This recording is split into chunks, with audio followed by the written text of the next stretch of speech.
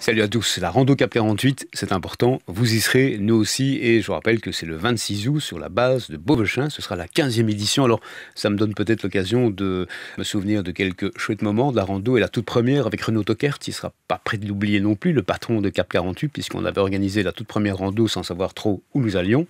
À mon avis, vous non plus d'ailleurs, puisque vous êtes venu à plus de 5000, qu'on avait prévu deux pompes à bière, dont une est tombée en panne instantanément, et il y avait un seul petit food truck pour tout le monde. puis une autre anecdote absolument incroyable dont je me souviens, c'est la fois où nous sommes sortis de la base en principe, conduit par un MP qui devait euh, faire sortir toute la caravane Cap 48 pour la rando, et qui s'est trompé dans la base et qui n'est jamais parvenu à trouver la sortie.